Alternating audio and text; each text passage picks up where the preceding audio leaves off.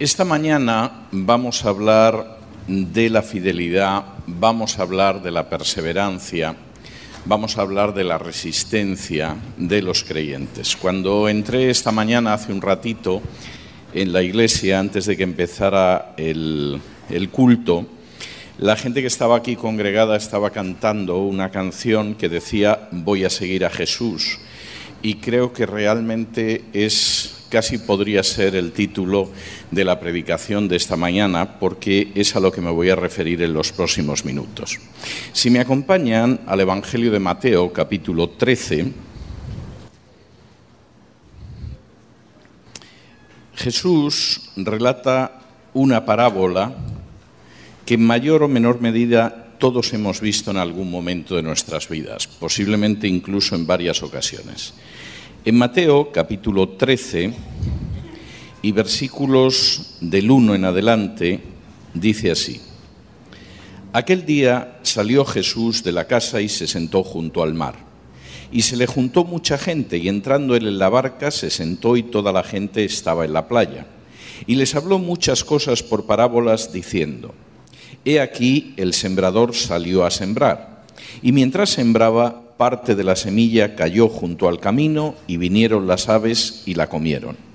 Parte cayó en pedregales donde no había mucha tierra y brotó pronto porque no tenía profundidad de tierra, pero salido el sol se quemó y porque no tenía raíz se secó. Y parte cayó entre espinos y los espinos crecieron y la ahogaron, pero parte cayó en buena tierra y dio fruto, cual a ciento, cual a sesenta y cual a treinta por uno. El que tiene oídos para oír, que oiga. A continuación, Mateo explica cómo no a todos les será dado conocer la interpretación de las parábolas, solo a algunos, y a partir del versículo 18 da la interpretación de Jesús para sus discípulos sobre el significado de esta parábola. Y dice a partir del versículo 18, Oíd pues vosotros la parábola del sembrador. Cuando alguno oye la palabra del reino y no la entiende, viene el malo y arrebata lo que fue sembrado en su corazón. Este es el que fue sembrado junto al camino. Y el que fue sembrado en pedregales, este es el que oye la palabra y al momento la recibe con gozo, pero no tiene raíz en sí, sino que es de corta duración, pues al venir la aflicción o la persecución por causa de la palabra, luego tropieza. El que fue sembrado entre espinos, ese es el que oye la palabra, pero el afán de este siglo y el engaño de las riquezas ahogan la palabra y se hace infructuosa. Mas el que fue sembrado en buena tierra, este es el que oye y entiende la palabra y da fruto y produce a ciento, a sesenta y a treinta por uno. Jesús habla de cuatro reacciones frente a la predicación del Evangelio del Reino de Dios. Hay gente que efectivamente escucha la palabra, pero de manera prácticamente inmediata esa predicación de la palabra queda absolutamente estéril, no significa nada, desaparece, es como esos pájaros que se comían la semilla, porque en última instancia la acción del malo es inmediata. Se les predicó la palabra, pero la palabra ni siquiera llegó a germinar un poquito, ni siquiera se acercó a su corazón, ni siquiera tocó o rozó la epidermis de su espíritu. Hay un segundo grupo que escucha la palabra e incluso escucha la palabra con cierto entusiasmo, con cierta alegría. Es bonito el mensaje de salvación, es agradable la idea de que Dios es Padre, resulta hermoso pensar que va a estar a tu lado durante el resto de la vida y eso provoca una alegría. Es gente que casi parece efervescente en ese momento. Pero esa efervescencia, ese entusiasmo, esa alegría dura hasta que aparece la primera prueba o la segunda. Y de pronto, cuando aparecen las dificultades por el hecho de ser cristiano, esa gente olvida, retira, aparta todo lo que ha podido escuchar del mensaje del Evangelio. Hay un tercer grupo que escucha y que efectivamente la palabra prende en ellos. No es como el primer caso, que la palabra desaparece como el rocío por la mañana cuando sale el sol, no es como el segundo caso, que en cuanto que ven las dificultades se apartan, sino que es gente en las que prende la palabra, pero no llegan a dar fruto nunca. están tan absolutamente envueltos en lo que es este mundo, les preocupa tanto lo material, les angustia tanto lo que tiene que ver con el dinero, con las posesiones, que al final esa palabra no desaparece, sigue en su corazón, pero nunca llegan a dar un fruto que demuestre que efectivamente la palabra está en su corazón. La palabra queda absolutamente estéril, no produce nada a pesar de que está ahí. Y finalmente hay un cuarto grupo, que es el de aquella gente que efectivamente decide que la palabra dé fruto. No todos tienen las mismas capacidades. Hay gente que efectivamente puede producir un fruto que es inmenso, hay gente que produce un fruto más modesto pero en todos los casos es gente que no solamente no ha lanzado la palabra por la borda, que no solamente se ha mantenido en medio de las dificultades, que no solamente ha conservado la palabra sin fruto, sino que además da fruto. Todos nosotros deberíamos formar parte del cuarto grupo. Deberíamos de ser gente que permanece fiel, que persevera, que continúa, y que precisamente por todo eso acaba dando finalmente un fruto, mayor o menor, de acuerdo con los dones que el Señor nos haya dado, pero en última instancia un fruto que multiplica aquello que recibimos en un día al escuchar el Evangelio. En los próximos minutos quisiera dar siete razones por las que efectivamente deberíamos perseverar deberíamos mantenernos, deberíamos dar fruto, deberíamos formar parte de ese cuarto grupo que aparece en la parábola del sembrador. La primera razón es el amor. Si me acompañan ustedes a Romanos capítulo 5, en Romanos capítulo 5, el apóstol Pablo llega a uno de los puntos culminantes de la epístola. Pablo no ha estado nunca en Roma, desde hace años ha querido ir a Roma, en Roma realmente nadie le conoce de manera directa y por lo tanto Pablo decide escribir una especie de resumen, de compendio de lo que es la predicación que él da y ese compendio es la carta a los romanos, hasta tal punto que algunos dicen que la carta a los romanos es el Evangelio según Pablo, igual que existe un Evangelio según Juan o un Evangelio según Mateo, según Marcos o según Lucas. En los tres primeros capítulos del Evangelio, Pablo va colocando en el banquillo a todos los seres humanos como acusados, mostrando que todos somos pecadores, que ninguno de nosotros alcanzamos la gloria de Dios y que no podemos conseguir la salvación por nuestras obras, por nuestros méritos o por ceremonias. A finales del capítulo tercero, Pablo muestra que a pesar de que Dios es justo y no va a declarar justo al injusto, sin embargo, la muerte de Jesús en la cruz, su expiación por el pecado, es algo que podemos recibir a través de la fe y ser justificados por la fe en el sacrificio de Cristo. Y eso abre la salvación para todos los pecadores y al mismo tiempo permite que Dios siga siendo justo, declarando justo a un injusto porque creyó en Jesús.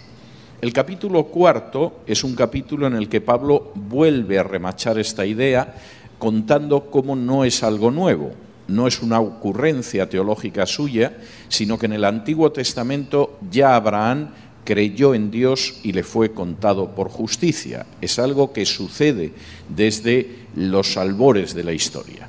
Y al llegar al capítulo quinto, de pronto Pablo narra algo que es verdaderamente extraordinario, es auténticamente uno de los picos de la carta a los romanos. Y dice así, justificados pues por la fe, tenemos paz para con Dios por medio de nuestro Señor Jesucristo, por quien también tenemos entrada por la fe a esta gracia en la cual estamos firmes, y nos gloriamos en la esperanza de la gloria de Dios, y no solo esto, sino que también nos gloriamos en las tribulaciones, sabiendo que la tribulación produce paciencia, y la paciencia prueba, y la prueba esperanza, y la esperanza no avergüenza, porque el amor de Dios ha sido derramado en nuestros corazones por el Espíritu Santo que nos fue dado.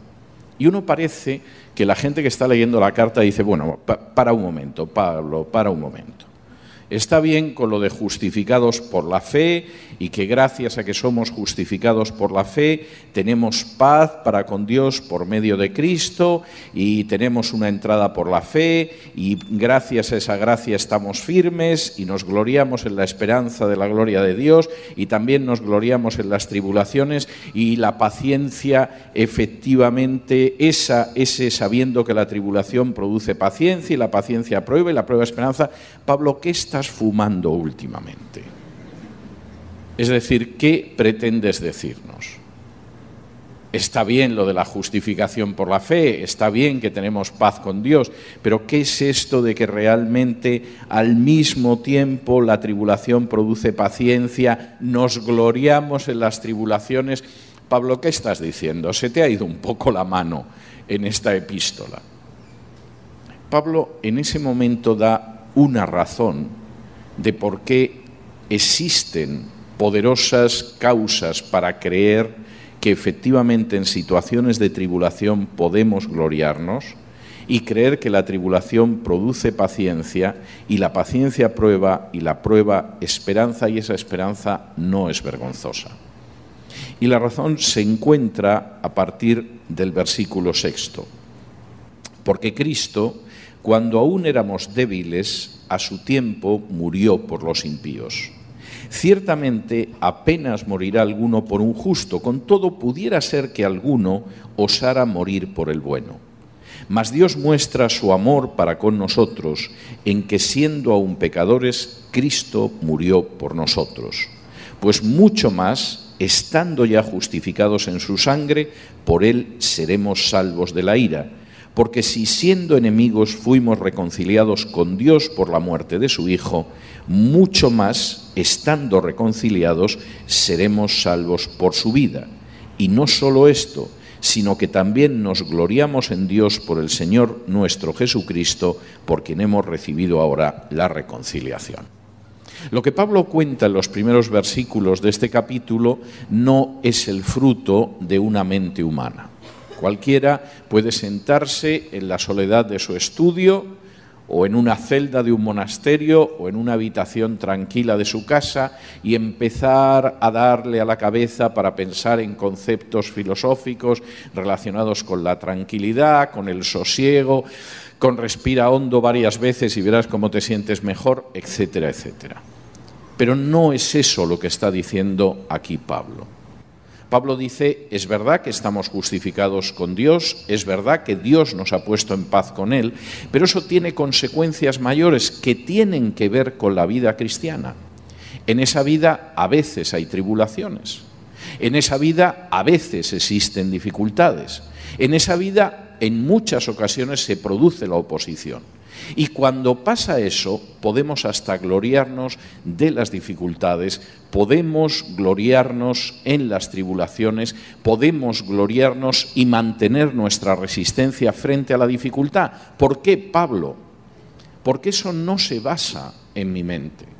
No se basa en lo que en un momento determinado una persona ideó en un momento de la historia eso arranca de un hecho histórico de extraordinaria importancia, que es la muerte de Jesús en la cruz. Y Pablo dice, si al final podéis enfrentaros con esas situaciones y habéis sido justificados y tenéis paz con Dios, es porque hubo una época en que erais enemigos, hubo una época en que estabais apartados de Dios, Hubo una época en que la distancia que existía entre Dios y vosotros era verdaderamente abismal. Y sin embargo, siendo enemigos, estando apartados, quebrantando sus leyes, Cristo murió por vosotros. Y ese amor es la base de la manera en que vosotros vais a afrontar vuestra vida. Perseveramos no porque seamos especialmente buenos, poderosos o cosa parecida. La primera razón para nuestra fidelidad es la gratitud al amor de Dios. Un amor de Dios que Dios no nos debía en absoluto. Hubiera podido castigarnos, mantenernos fuera de su presencia por toda la eternidad y no hubiera actuado nada más que de acuerdo con la más estricta justicia. Pero lo cierto es que a pesar de ser enemigos y pecadores y estar separados de Dios, Dios se encarnó en Jesús y estuvo dispuesto a ir a la cruz para morir por nuestros pecados. La primera razón de nuestra perseverancia, lo que hace que incluso en medio de las tribulaciones podamos sentir que pasaremos la prueba, lo que nos permite resistir la oposición es recordar el inmenso, inexplicable y gigantesco amor que Dios manifestó por nosotros en la cruz. Y esa es la primera de las razones. Cualquier respuesta que nosotros podamos dar en cualquiera de las situaciones es una respuesta que en última instancia siempre será pequeña comparada con el inmenso amor de Dios. Segunda razón para nuestra perseverancia, la obra no es nuestra, es el Señor el que hace la obra y es una obra que viene desde la eternidad. Si me acompañan en esa misma carta de Romanos al capítulo 8, Pablo, que después de describir en el capítulo 5 esta introducción a la que me he referido y hablar de cómo hubo un primer hombre, Adán, que cayó en el pecado y ha habido un segundo hombre celestial, que es el Señor que nos ha sacado de él, habla de la vida cristiana en el capítulo sexto, de cómo seguimos siendo tremendamente imperfectos en el capítulo séptimo, y en el capítulo ocho llega algo extraordinario que es la vida en el Espíritu. Posiblemente es uno de los capítulos más hermosos del Nuevo Testamento. Y en ese capítulo 8, a partir del versículo 24, dice lo siguiente. Porque en esperanza fuimos salvos, pero la esperanza que se ve no es esperanza, porque lo que alguno ve, ¿a qué esperarlo?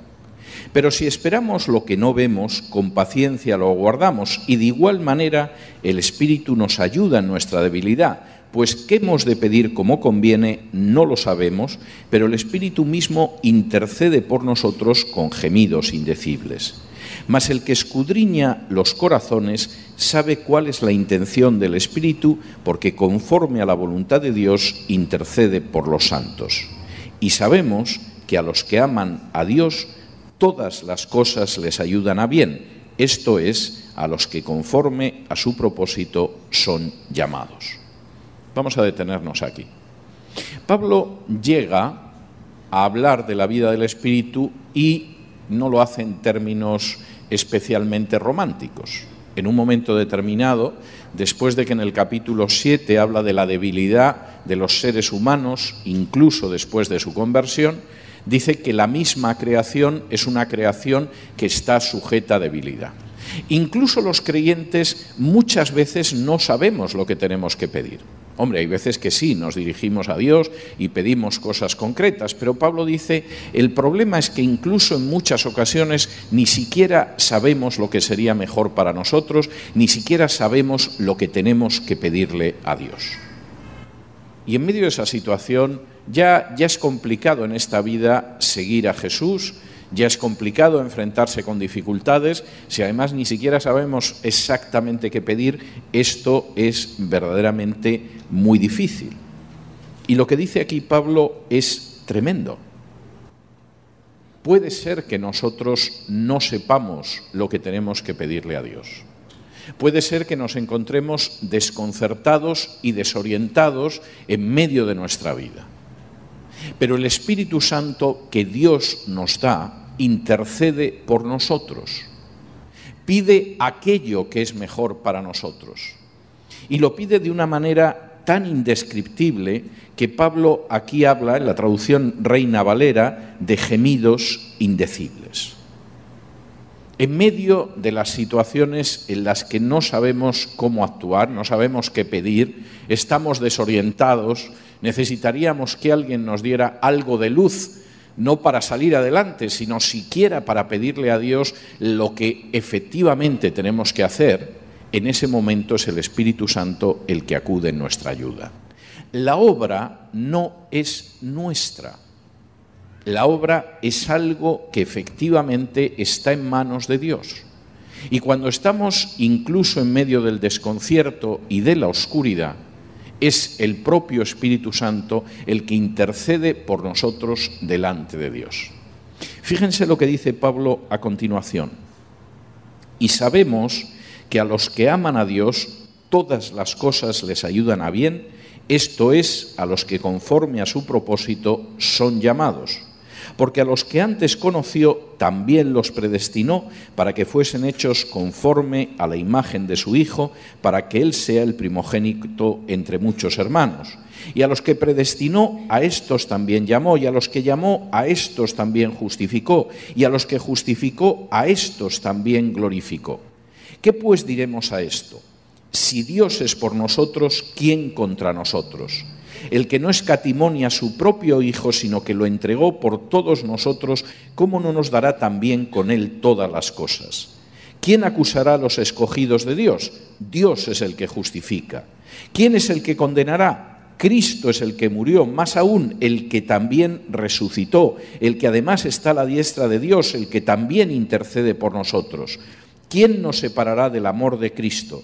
Tribulación o angustia o persecución o hambre o desnudez o peligro o espada, como está escrito, por causa de ti somos muertos todo el tiempo, somos contados como ovejas de matadero. Antes, en todas estas cosas somos más que vencedores por medio de aquel que nos amó por lo cual estoy seguro de que ni la muerte, ni la vida, ni ángeles, ni principados, ni potestades, ni lo presente, ni lo porvenir, ni lo alto, ni lo profundo, ni ninguna otra cosa creada nos podrá separar del amor de Dios que es en Cristo Jesús, Señor nuestro. En muchas ocasiones, en el curso de nuestra vida, parece que las cosas aparecen de golpe. Todo iba muy bien, y de pronto surge una dificultad y nos tambaleamos y temblamos y parece que nos vamos a caer de la barca o que vamos a acabar siendo como aquellos a los que al final las preocupaciones de este mundo les impiden dar fruto. Y Pablo dice, no caigáis en esa equivocación. Vuestra vida no está dentro de los proyectos de Dios como algo que acabe de aparecer ahora. Vuestra vida tiene un lugar dentro de los propósitos de Dios. Y esos propósitos vienen de antes de que vosotros nacierais. A los que aman a Dios, como dice aquí, todas las cosas les ayudan a bien. No el 80%, no el 75%, no el 90% o el 50%, todas las cosas. Incluso las lágrimas, las tribulaciones, las dificultades, las caídas son algo que en el inmenso propósito de Dios para tu vida tienen un sentido. Y llegará un momento en tu vida en que puedas mirar hacia atrás y decir, caramba, qué difícil fue esa época, qué duro fueron aquellos momentos, y sin embargo fueron para bien. Y sin embargo, a pesar de la dificultad y de los golpes y del sufrimiento, aquello fue para bien, porque todos aquellos que efectivamente aman a Dios viven una vida en que todo es para bien de acuerdo a su propósito. Pablo incluso dice, esto no es algo que surge ahora. Dios lleva planificando esto desde hace milenios antes de que tú existieras. Y como dice muy bien en el versículo 29, a los que conoció los predestinó. Antes de que tú nacieras, Dios te había conocido. Dios te había predestinado para que fueras hecho conforme a la imagen de su Hijo. A esos que predestinó los llamó. A los que llamó los justificó y a los que justificó los glorificó. Y si miras atrás en tu vida, de pronto empiezas a darte cuenta de que hay una serie de puntos en los que Dios actuó sin que tú te dieras, te percataras en ese momento de ello. De pronto aquel vecino que tenías cerca de casa y que te habló del Evangelio, pero si no hubiera estado el vecino, no hubieras escuchado el Evangelio aquella amiga que te dijo, ven a un culto de la iglesia, pero si no hubieras tenido a esa amiga, no hubieras pisado jamás esa iglesia donde escuchaste el Evangelio y te convertiste. Aquella vez que estabas en medio de una situación difícil y llorabas y clamabas y no sabías cómo salir de ella y de pronto te acordaste de que tu mamá tenía un libro en casa que era la Biblia y te lanzaste a la Biblia y encontraste al Señor todos y cada uno de nosotros que hemos sido llamados es porque Dios nos conoció, nos predestinó y en un momento determinado nos puso en el camino. Podemos perseverar porque la obra no es nuestra. Si fuera algo de nosotros, posiblemente sería un desastre. Pero Pablo lanza un mensaje totalmente de ánimo y de ese amor que explica por qué empezamos a perseverar en primer lugar, de ese amor no nos va a separar absolutamente nada. Como dice aquí, ni la muerte, ni la vida, ni ángeles, ni principados, ni potestades, ni lo presente, ni lo porvenir, ni lo alto, ni lo profundo, ni ninguna otra cosa creada nos puede separar del amor de Dios manifestado en Cristo Jesús. Y esto es algo tremendamente importante. Hay gente que se angustia pensando en cómo podría dar fruto, cómo podría ser fiel, cómo podría perseverar. La obra no es tuya. Escucha simplemente lo que Dios te dice en el corazón. Porque todas las cosas que tú vivas son cosas para bien y para gloria de Dios. No te sientas desanimado si de pronto parece que las cosas te vienen grandes. No te sientas desanimado si de pronto da la sensación de que tu vida espiritual se ha paralizado. No te sientas desanimado si piensas que las dificultades son tan enormes que no puedas sobrepasarlas. Porque si lo sabes entender, si te aferras a ello, cualquier dificultad, cualquier dolor, cualquier lágrima derramada es algo que te va a ayudar para bien porque todas las cosas ayudan para bien a aquellos que han sido llamados de acuerdo al propósito de Dios. Y no hay nada en absoluto que nos pueda separar del amor de Dios, ni siquiera las fuerzas del diablo. Cuando aquí habla de principados, potestades, etc., Pablo no está hablando de gobernantes humanos, está hablando de potencias diabólicas que rigen en este mundo. Ni siquiera esas potencias podrán jamás separarnos del amor de Cristo. Acompáñenme.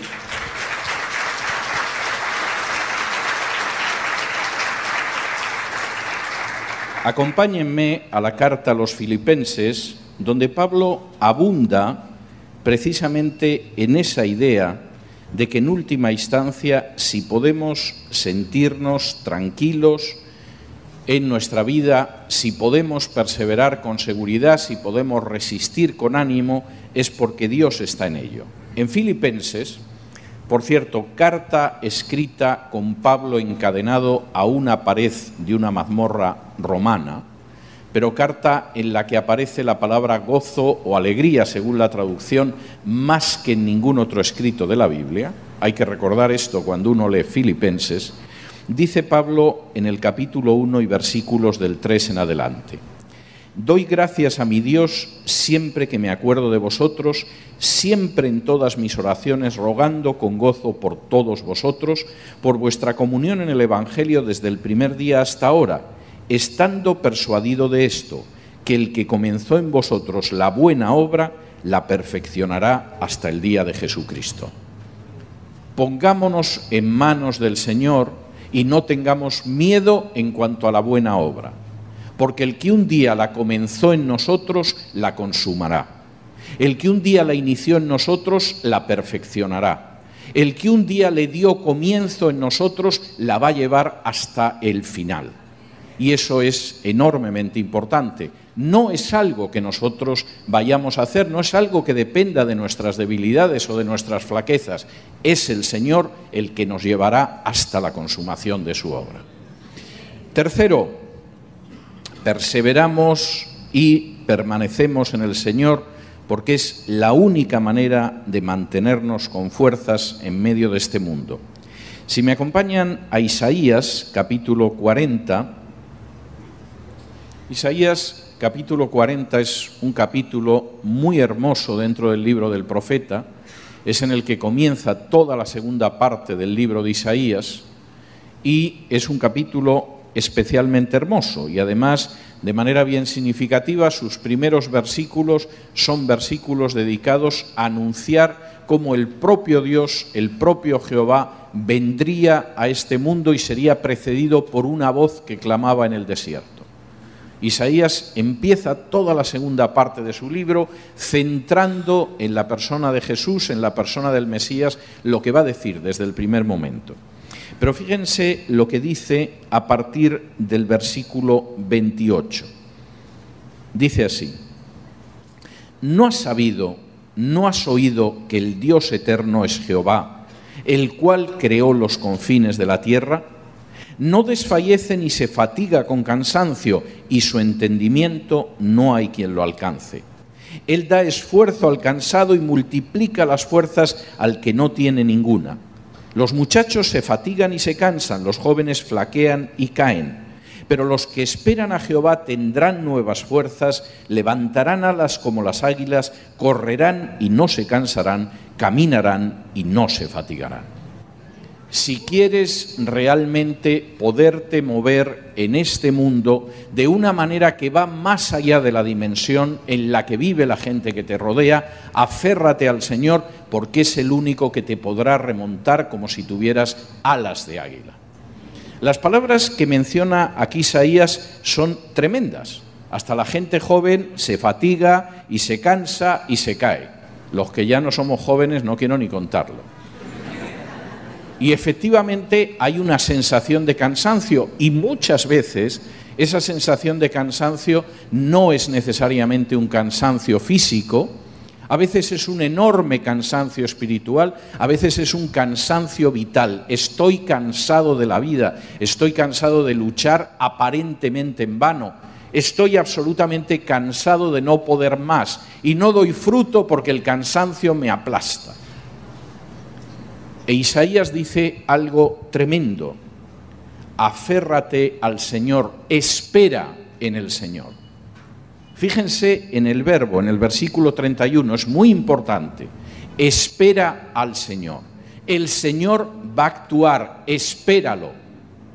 Tienes que ser perseverante, tienes que ser paciente, tienes que ser resistente, tienes que esperar al Señor porque eso va a tener consecuencias porque aquellos que esperan al Señor tendrán fuerzas renovadas, levantarán las alas como las águilas, correrán y no se cansarán, caminarán y no se fatigarán en medio de esta vida.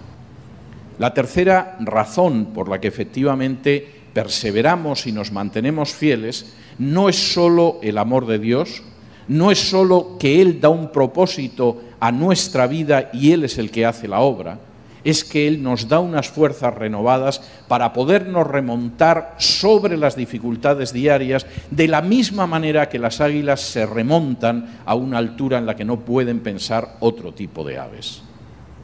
Espera en el Señor y sabrás lo que es remontarte en los aires, lo que es correr sin fatigarte, lo que es caminar sin cansarte. Cuarto, esperamos en el Señor, perseveramos en el Señor, somos fieles, porque al final habrá una cosecha. Si me acompañan a la carta a los Gálatas, Gálatas es la primera carta que escribió Pablo en torno al año 49, pero si quieren saber más sobre Gálatas, tendrán que leer mi libro sobre el apóstol Pablo, que Dios mediante se publicará el año que viene. En Gálatas, Pablo menciona algo que deberíamos tener absolutamente en cuenta y que en el capítulo 6 dice de la siguiente manera. Capítulo 6 y versículos del 7 en adelante. No os engañéis Dios no puede ser burlado, pues todo lo que el hombre sembrare, eso también segará. Porque el que siembra para su carne, de la carne segará corrupción, mas el que siembra para el espíritu, del espíritu segará vida eterna. No nos cansemos, pues, de hacer el bien, porque a su tiempo segaremos si no desmayamos. Así que según tengamos oportunidad, hagamos bien a todos y mayormente a los de la familia de la fe. Pablo expresa aquí una regla espiritual que es la ley de la siembra y la siega. Lamentablemente la ley de la siembra y la siega se ha convertido en una estafa de ciertos predicadores que te dicen que si das dinero resulta que se multiplica, si les das el dinero a ellos, claro lo cual es una manera maravillosa de sacarle el dinero a los demás, pero no es lo que dice la Biblia sobre la ley de la siembra y la siega. La ley de la siembra y la siega habla del hecho de que en última instancia lo que se siembra y se siega es corrupción o vida eterna, no un nuevo apartamento o un automóvil de último modelo. Y realmente, según lo que la persona siembra en su vida, recogerá corrupción o vida eterna. Si siembras en la carne y en lo material, no esperes recibir vida eterna. Y si siembras en lo espiritual, no vas a recoger corrupción. Pero hay algo aquí que Pablo lo lleva más allá y que tiene que ver con cuestiones muy prácticas de la vida cristiana. Hay gente que se cansa en la vida cristiana. De pronto hay dificultades. De pronto no parece que exista un fruto. De pronto hay gente a la que ayudas y es ingrata contigo. De pronto sientes que las circunstancias te vencen. Y Pablo dice, no, no, no, no, no, no, no, no, no. Sé perseverante, sé paciente, resiste en esa situación, porque si no nos cansamos de hacer el bien, a su tiempo vamos a segar. Si no desmayamos, recogeremos el fruto. Si no abandonamos, recibiremos la cosecha. ¿Y eso qué significa? Pues eso significa que hagamos el bien a todos, poniendo en primer lugar a los hermanos y a la familia de la fe, pero haciendo el bien a todos, porque efectivamente vamos a segar el fruto, vamos a recoger una cosecha, no va a quedar baldío y sin resultado aquello que hemos hecho. Esto es enormemente importante. ¿Quieres cosechar en tu vida? ¿Quieres cosechar algo que efectivamente es un fruto bueno? ¿Quieres ver cómo tus esfuerzos no han sido en vano? Pues si es así, no te canses de hacer el bien. No te canses de hacer el bien primero aquellas personas que creen en Jesús y han sido redimidas por su sangre como tú, y después al resto de personas que no conocen todavía a Jesús. Porque si no te cansas en hacerlo, si sigues trabajando a pesar de las dificultades, tú vas a ver cómo das el fruto a 40, a 60 o a 100 por uno. No nos cansemos y recibiremos el fruto, pero sin perseverancia sin fidelidad, sin paciencia, no habrá cosecha y no habrá siega. Quinto, seguimos perseverantes y seguimos trabajando por el Señor y seguimos siendo fieles porque es la única manera de recibir las promesas. Vamos a ir a la carta a los hebreos. La carta a los hebreos es un escrito verdaderamente maravilloso en el que es difícil que yo no me detenga en alguna predicación y es al mismo tiempo de una carta de ser una carta muy profundamente espiritual, al mismo tiempo es una carta enormemente práctica. La gente a la que está dirigida la carta a los hebreos era un grupo de judíos que habían creído en Jesús. Pero los años pasaban Posiblemente habían pasado más de 30 años desde la crucifixión de Jesús y el templo seguía en pie. El sistema de sacrificios seguía en pie. El sumo sacerdote seguía siendo el mismo ladrón que había convertido el templo en una cueva de ladrones en vez de en un lugar de oración y no parece que recibiera ningún tipo de castigo. Y había judíos que decían, ¿y si esto de Jesús al final no va a ser cierto? Porque aquí han ido pasando los años y el sistema del templo sigue igual. Y todos los días se realizan sacrificios. Y llega el día de la expiación de Yom Kippur y se celebra el día de la expiación. Y llega la Pascua y se sacrifica el Cordero de Pascua. Aquí eso del nuevo pacto en mi sangre que será derramada por todos vosotros, yo cada vez que miro el templo de Jerusalén me entran unas dudas tremendas. Y el autor de la carta a los hebreos escribe a esas personas que tienen dudas en cuanto a su perseverancia. Y que realmente se plantean si las cosas serán como han creído durante todas esas décadas o esos años. Y el autor de la carta a los Hebreos primero explica en el primer capítulo cómo Jesús no era un hombre, sino que era el propio Dios encarnado, y en el segundo capítulo cómo era un hombre, pero un hombre de, de unas características muy especiales, y en los capítulos siguientes cómo Jesús ha cumplido un sacrificio una vez por siempre que anula todos los sacrificios del antiguo pacto, lo que significa que aquello se va a caer de un momento a otro. Pero aparte de toda esa discusión teológica, el autor de la carta a los hebreos llega a cuestiones enormemente prácticas. Y fíjense lo que dice el capítulo 10 desde el versículo 35.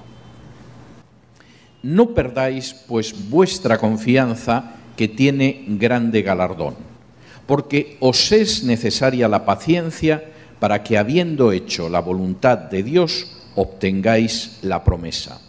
Porque aún un poquito y el que ha de venir vendrá y no tardará, mas el justo vivirá por fe y si retrocediere no agradará a mi alma. Pero nosotros no somos de los que retroceden para perdición, sino de los que tienen fe para preservación del alma. El texto de Hebreos es verdaderamente tremendo. Cita además del profeta Habacuc y dice, es necesaria la paciencia, pero tengo que decir que la palabra que aparece aquí en griego es una palabra que va más allá de paciencia. Es una palabra que indica al que está por debajo de una presión. Es una palabra que indica algo que sostiene lo que está arriba. Por ejemplo, esto sería la paciencia de este atril. Es lo que sujeta la carga de esta parte de arriba, los libros, el reloj, etcétera, etcétera. Y él dice, necesitáis esta resistencia que está por debajo y que soporta la carga que tiene encima. ¿Y por qué necesitáis esa resistencia, esa perseverancia, esa paciencia? Para que como habéis hecho la voluntad de Dios, recibáis las promesas. Y esto no me lo invento yo, el autor de la carta a los hebreos. Esto ya lo dijo Habacuc por lo menos hace seis siglos, cuando afirmó que el justo vivirá por fe y que efectivamente para agradar a Dios no se puede retroceder. Y como dice aquí, nosotros no somos de los que retroceden. Nosotros somos de los que tienen fe para la preservación del alma. ¿Quieres recibir las promesas de Dios? ¿Quieres ver cómo las promesas de Dios se hacen realidad en tu vida? Pues las promesas de Dios no se compran con dinero, ya te lo adelanto. Las promesas de Dios se reciben cuando efectivamente uno tiene la paciencia para seguir siendo fiel en medio de las dificultades. La carta a los hebreos, por cierto, contiene una profecía que se cumplió muy poquito tiempo después de que se escribiera. Y es cuando él dice que el sistema viejo de sacrificios del templo está a punto de desaparecer precisamente porque el sacrificio de Cristo realizado una vez y por todas acaba con el sistema sacrificial. Esta carta posiblemente se escribió a mediados de los años 60. En el año 70 el templo fue totalmente arrasado y no se ha vuelto a reconstruir. Y en ese sentido las palabras del autor de Hebreos fueron proféticas ¿Quieres recibir las promesas? Tienes que tener la paciencia, la perseverancia, la resistencia para que efectivamente esas promesas acaben cumpliéndose en tu vida por fidelidad. Séptimo, somos perseverantes no solo agradeciendo el amor de Dios, no solo porque sabemos que el Señor hará la obra, no solo porque esa perseverancia es la que nos da fuerzas al esperar en Él, no solo porque es la única manera de recibir cosecha y segar, fruto, no solo porque es lo que nos permitirá recibir las promesas, sino porque además es lo que nos llevará hasta la corona de la vida. Si me acompañan a la carta de Santiago, Santiago capítulo 1, Santiago empieza con una descripción muy interesante de lo que es la naturaleza humana. Dice desde el versículo 2 del capítulo 1, Hermanos míos, tened por sumo gozo cuando os halléis en diversas pruebas. Y es para decir, mal empezamos, Santiago. O sea, si las diversas pruebas son las que nos van a provocar el sumo gozo, no estamos empezando bien, Santiago. ¿Y por qué deberíamos de tener por sumo gozo el encontrarnos en pruebas? Versículo 3. Sabiendo que la prueba de vuestra fe produce paciencia. Mas tenga la paciencia su obra completa para que seáis perfectos y cabales sin que os falte cosa alguna. Y si alguno de vosotros tiene falta de sabiduría, pídala a Dios, el cual da a todos abundantemente y sin reproche y le será dada. Pero pida con fe, no dudando nada, porque el que duda es semejante a la onda del mar que es arrastrada por el viento y echada de una parte a otra. No piense pues quien tal haga que recibirá cosa alguna del Señor. El hombre de doble ánimo es inconstante en todos sus caminos. El hermano que es de humilde condición, gloríese en su exaltación, pero el que es rico en su humillación, porque él pasará como la flor de la hierba. Porque cuando sale el sol con calor abrasador, la hierba se seca, su flor se cae y perece su hermosa apariencia. Así también se marchitará el rico en todas sus empresas. Bienaventurado el varón que soporta la tentación, porque cuando haya resistido la prueba, recibirá la corona de vida que Dios ha prometido a los que le aman. Pablo, eh, perdón, Santiago empieza diciendo que si nos enfrentamos con pruebas no deberían asustarnos, no deberían angustiarnos, no deberían preocuparnos, porque dentro del propósito de Dios esas pruebas tienen un sentido. Y es el hecho de que van a ir forjando de alguna manera nuestra paciencia.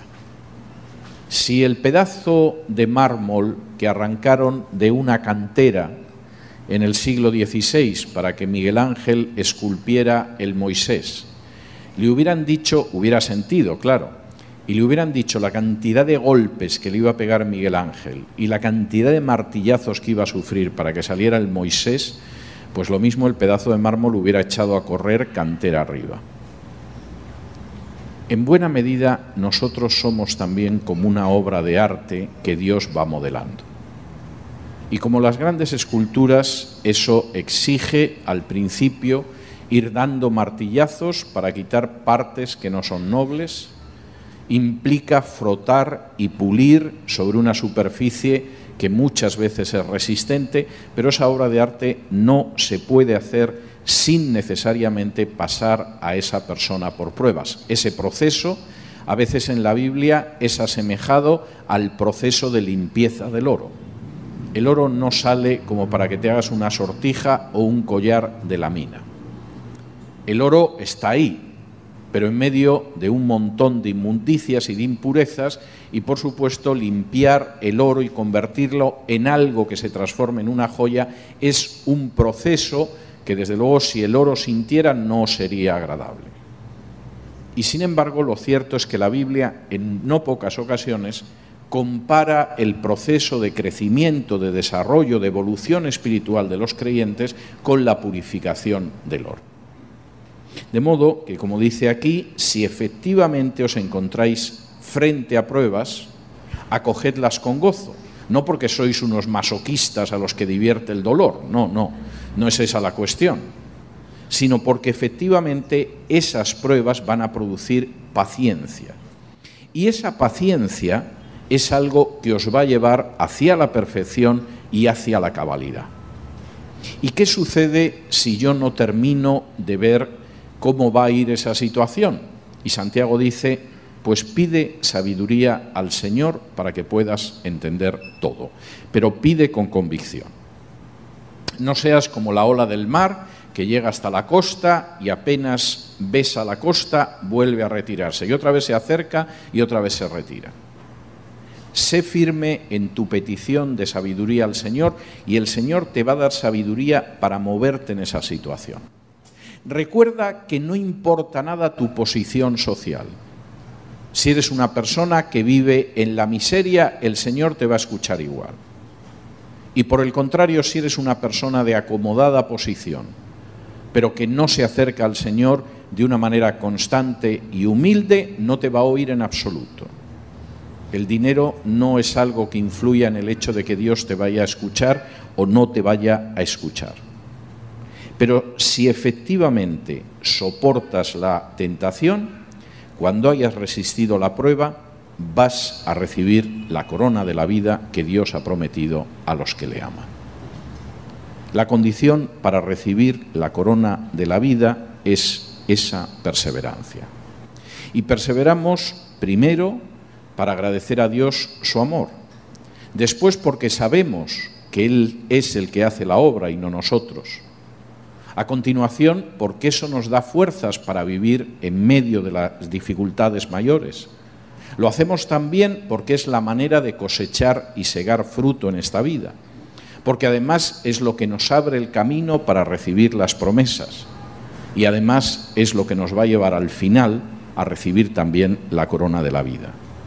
Séptimo y último, y supongo que ustedes respirarán con alivio, sabiendo que estoy llegando al final de esta exposición. Perseveramos, somos fieles, resistimos, porque eso es la antesala de reinar al lado de Cristo. Si me acompañan a la segunda carta a Timoteo, capítulo 2, precisamente Pablo vuelve a referirse a la perseverancia, a la paciencia, a la resistencia y lo hace de nuevo en una prisión romana, en un encarcelamiento distinto y seguramente cuando le faltan días, quizá horas, para ser ejecutado. Esta vez Pablo no espera que lo liberen, como cuando escribió las cartas de Efesios, Filipenses, Colosenses y Filemón, que él sabía que en algún momento sería liberado, esta vez sabe que va a ser derramado como un sacrificio. Y fíjense lo que escribe a Timoteo en esta que es la última carta que él escribió. Segunda de Timoteo, capítulo 2 y versículos del 8 en adelante. Acuérdate de Jesucristo, del linaje de David, resucitado de los muertos conforme a mi Evangelio, en el cual sufro penalidades hasta prisiones a modo de malhechor, mas la palabra de Dios no está presa. Por tanto, todo lo soporto por amor de los escogidos, para que ellos también obtengan la salvación que es en Cristo Jesús con gloria eterna. Palabra fiel es esta. Si somos muertos con Él, también viviremos con Él. Si sufrimos, también reinaremos con Él. Si le negaremos, Él también nos negará. Si fuéramos infieles, Él permanece fiel. Él no puede negarse a sí mismo. Las palabras de Pablo son especialmente hermosas. Acuérdate de Jesucristo, Timoteo, Jesucristo es verdad que murió y padeció, pero fue resucitado de entre los muertos. Y precisamente en Cristo yo sufro penalidades. Estoy ahora mismo en prisión, como si fuera un malhechor. Pero tengo el gozo de que la palabra de Dios no está encadenada como yo estoy encadenado. Y todo lo soporto porque efectivamente sé que hay gente que escuchando el Evangelio finalmente finalmente encontrará también la entrada en la gloria eterna. Y si nosotros sufrimos con Él, reinaremos con Él. Ahora, hay, hay algunos predicadores que la idea de reinar con Cristo, eh, lejos de parecerse a la de Pablo, es otra idea. Supuestamente somos hijos del rey y eso nos convierte en unos niñitos malcriados y caprichosos que por supuesto tienen la seguridad de que su padre es una especie de abuelo estúpido que les concede todo lo que se les pasa por la cabeza. No hay nada que se parezca lejanamente a eso en la Biblia. Dios es un buen padre, es el buen padre, y precisamente lo que quiere es que sus hijos maduren, no que se conviertan en seres caprichosos y malcriados. Y precisamente porque es así, esa situación de reinar con Él no nos convierte ahora en lo que serían los hijos de un millonario al que no le importan sus vástagos y pueden hacer lo que quieren en este mundo y se limita a pagarle las cuentas. Lo que la Biblia presenta es algo muy distinto. Dios es un buen padre que nos va ayudando, a veces a través de la disciplina, no pocas veces a través de las dificultades, a convertirnos en mujeres y en hombres dignos que reflejan la imagen de Jesús. No tiene ningún interés en tener hijos e hijas malcriados, que la única relación que tienen con Él es pedirle caprichos y que se enfadan y patalean si no les conceden los caprichos que se les antoja no hay nada más lejos del propósito de Dios. El propósito de Dios es que lleguemos a ser hombres y mujeres que reflejen la vida y el carácter de Jesús y de esa manera sean llamados hijos de Dios porque efectivamente cuando lo ves dices tienen un Dios que es así. Y de la misma manera que ves a un niño y dices, este es el hijo de Juan, ¿eh? es igual, ha sacado el mismo pelo pelirrojo, la misma cara de malo, y lo identificas, la idea es que efectivamente la gente pueda ver cómo es nuestro carácter y glorifiquen a vuestro Padre que está en los cielos, como dice Jesús en el Sermón del Monte. Y precisamente esas circunstancias, ese dejar que Dios haga la obra en nosotros, ese permitirle que lleve a consumación lo que ha planeado desde hace milenios, es lo que muestra que somos hijos de Dios pero es también lo que permitirá que un día reinemos como verdaderos hijos de Dios.